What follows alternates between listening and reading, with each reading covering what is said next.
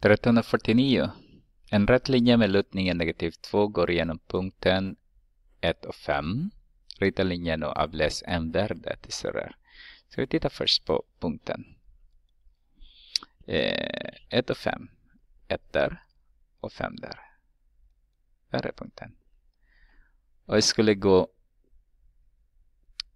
genom, ano, ah, eh, det ska vara lutningen negativ 2. Det betyder att varje steg ner varje steg till höger eller två ner. Heter det.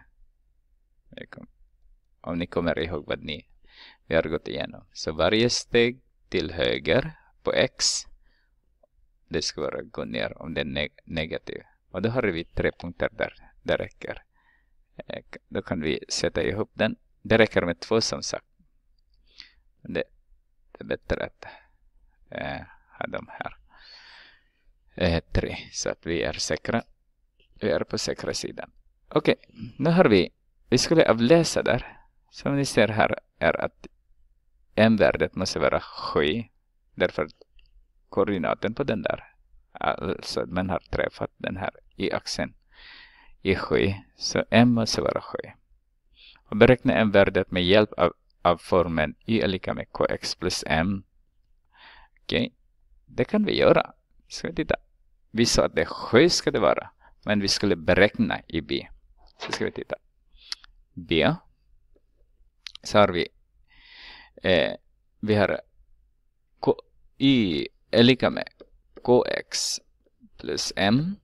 Här är det tillfällig X, tillfällig Y som vi sa. Alltså en punkt bara.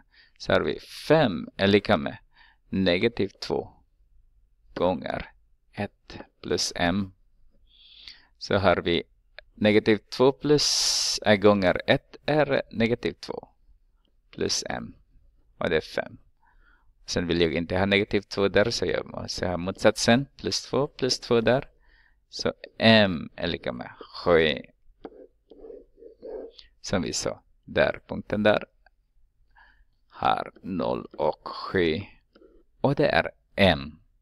När x är 0 och då y är lika med m. Så m är lika med 7.